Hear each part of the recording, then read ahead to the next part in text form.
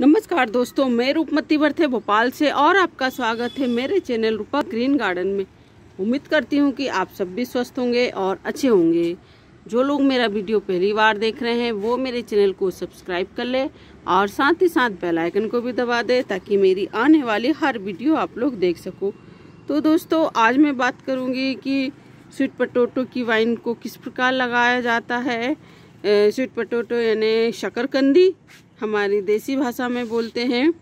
तो आज मैं उसी के बारे में बात करूँगी, उसकी केयर के बारे में बात करूँगी और उसको कैसे लगाया जाता है, ये भी मैं बात करूँगी और कुछ पटोटो की मैं हार्वेस्टिंग भी करूँगी।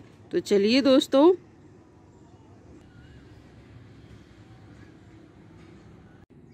तो ये देखिए, ये स्वीट पटोटो की वाइन है। ये देखिए, और ये बहुत दूर दूर तक फैल जाती है ये।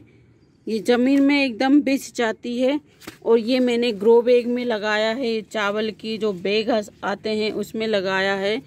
और यही हमारे बैगन भी लगे हुए हैं तो मैं थोड़ा सा अपडेट दे देती हूँ कि देखिए छोटे छोटे से कंटेनर में कितने सारे बैगन लगे हुए हैं, ये देखिए।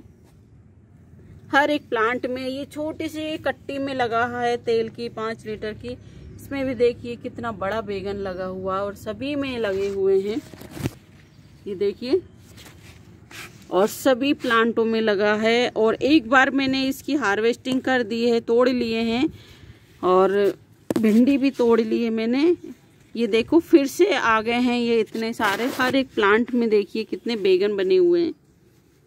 ये लंबे वाले काले बैगन हैं और हरे वाले भी है। ये देखिए, गुच्छों में आए हुए हैं ये। एक ही प्लांट में देखिए कितने आए हुए हैं ये। ये छोटे, अभी भी छोटे भी हैं, बड़े भी हैं, और इस तरफ़ में ये बड़े बड़े काले वाले हैं ये, गोल वाले जिसका भरता बनता है। और यहीं पर हमारी भिंडी भी लगी हुई है तो आप लोग थोड़ा सा देख लीजिए। या मैं आप लोगों के साथ में शेयर कर रही हूँ। हमको बहुत खुशी मिलेगी। अगर आप लोग हमारी जो गार्डनिंग है, हम थोड़ा सा मेहनत करते हैं तो थोड़ी सी मेहनत को सहारा, सहाराते हैं। और हमारी थोड़ी सी मेहनत रंग लाई है। तो मैं बात कर रही थी कि स्वीट पटेटो को आप किस प्रकार लगाएँगे? तो दोस्तों, ये बहुत ज़्यादा फैल जाती है। और ये देखिए, यहाँ तो इतनी सारी फैली हुई है। ये देखिए, बहुत दूर दूर तक फैल जाती है इसकी वाइन। और आप अगर एक बार अपने गार्डन में ऐड कर लोगे तो ये सालों साल आपके गार्डन में बनी रहेगी। और क्योंकि इसकी कटिंग से बहुत ही अच्छे से ग्रो होता है और इसके जो कंद आते हैं उससे भी आप ग्रो कर सकते हैं। तो कटिंग से बहुत ही आसानी से ग्रो हो जाती है। जैसे कोलेस की कटिंग आसानी से लग जाती, उसी प्रकार लगती है। और ये मैंने एक सीमेंट की टंकी है उसमें मिट्टी डाल के लगा दिए तो ये इतनी सारी फैल गई है। और ये दो तरह की आती है, एक लाल कलर की आती है और एक ये सफ़ेद कलर की आती है। जो सफ़ेद कलर की आती है, वो देसी वाली होती है और बहुत ही खाने में अच्छी लगती है। और एक जो आती है, वो खाने में टेस्ट थोड़ा अच्छा नहीं आता है। और ये जो देसी वाली है, इसका टेस्ट बहुत ही अच्छा होता है और बहुत ही आसानी से लग जाती है। और इसकी कटिंग लगाई जाती है। एक छोटी सी वाइन आप तोड़ के लगा दोगे तो बहुत ही अच्छे से लग जाएगी। कहीं से भी आप इतनी एक, इस प्रकार कहीं से भी आप तोड़ के इसकी जो कटिंग लगाते तो आप अगर इस प्रकार एक कटिंग ऐसे लगाओगे तो एक दो ही कंद आएँगे इसके अंदर। और अगर आप राउंड शेप में करोगे तो उसमें बहुत ही अच्छे से और ज़्यादा, क्योंकि जितनी भी ये जो पत्ती निकल रही है, हर एक नोड में एक कंद बनेगा। हर एक नोड में कंद बनेगा। तो मैं बताऊँ कि किस प्रकार आपको करना है। ये देखिए, आप इस प्रकार राउंड बना लीजिए। जो डंडी है, उसको घुमा घुमा के और पत्ते को ऊपर रखिएगा। और इसका जो मुँह होता है, जो सिरा होता है, यहाँ से उसको ऊपर रखिएगा। ये जो एक सिरा बना हुआ है हमारा, जहाँ से ग्रोथ बढ़ती है, वहाँ पर वो वाले मुँह को ऊपर रखिए, बाकी पूरा राउंड कर लीजिए और सारी पत्तियों को ऊपर करके और इस प्रकार इसको पकड़ के नीचे गड़ा दोगे। तो जितनी भी ये पत्तियाँ दिख रही है आपको, सभी में से रूट्स निकलेगी और सभी में एक एक नया नया कंद निकलेगा।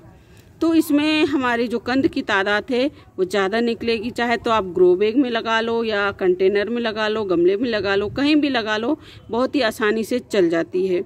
और इसकी दो किस्में होती है। तो आप इस प्रकार पकड़ के और जो ये जो नोडी वाला एरिया है, ये आप पूरा मिट्टी में गाड़ दीजिए। सिर्फ़ ये पत्ते पत्ते ऊपर रखिएगा। तो मैं आपको इसमें गड़ा के बताऊँगी। ये मिट्टी के अंदर इसको गड़ा दीजिए पूरी तरीके से। तो मैंने जितना भी नोडी एरिया था, सारा मिट्टी में दबा दिया है और सिर्फ़ ये जो छोर है, यहाँ से जो ग्रोथ निकलेगी, वो एरिया ऊपर रखा है और बाकी पत्तियाँ सारी ऊपर है और बाकी पूरा नोडी एरिया मैंने गड़ा दिया। तो इससे हमारे बहुत सारे कंद बनेंगे। तो इस प्रकार आप ये गड़ा के और फिर इसमें पानी डाल दीजिए। इस प्रकार आपकी वाइन ना बहुत जल्दी बढ़ जाएगी और बहुत सारी फैल जाएगी। और फिर मैं कुछ हार्वेस्टिंग भी करके बताऊँगी। तो दोस्तों, ये गर्मी के मौसम में बहुत ही अच्छे से सरवाइव होगा, होता है और ठंड के दिनों में ये डॉर्मेंसी पीरियड में चला जाता है। तो गर्मी के सीज़न में इसकी ग्रोइंग बहुत अच्छी रहती है। पानी इसमें डेली डालिए और जो तेज़ गर्मी धूप होती है, उस समय आप इसको फुल सनलाइट में मत रखिए। मतलब थोड़ा शेड एरिया में रखे, जहाँ से या कोई पेड़ के नीचे रखे। बहुत तेज़ धूप में इसके जो पत्तियाँ हैं, वो पूरी मुरझा जाएगी, मुरझा जाती है, इसलिए इसको तेज़ धूप में गर्मी की में नहीं रखते हैं।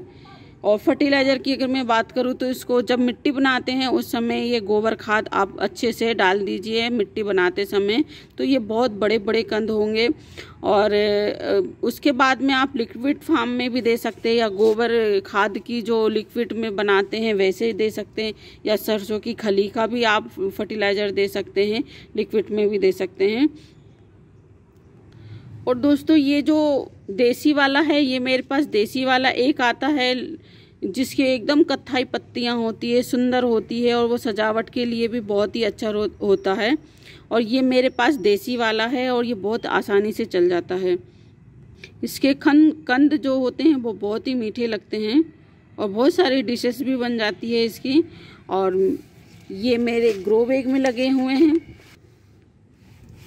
ये जो ग्रो बैग है, उसकी पूरी मिट्टी हम निकाल लेंगे। उसके बाद ही इसमें से कंद निकलेगा, मैं बताती हूँ आप लोगों को। तो ये देखिए, ये नीचे तक की जड़ें कितनी फैल गई है इसमें, ये ग्रो बैग में।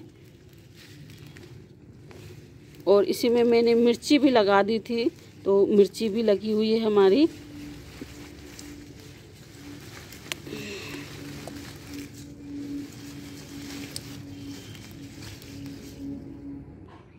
तो ये देखिए दोस्तों इसमें से ये अभी काफ़ी मेचर नहीं हुआ है। ये करीबन अगर हम चार महीने पाँच महीने में निकालेंगे तो बहुत बड़े बड़े बन जाएँगे। ये मैंने जल्दी निकाल लिए हैं। ये वाला प्लांट ये पीछे लगाया था। ये देखिए ये छोटे छोटे भी, भी बन रहे हैं। और एक ये है ये बहुत बड़ा वाला है। इसको मैं तोड़ लेती हूँ। ये देखिए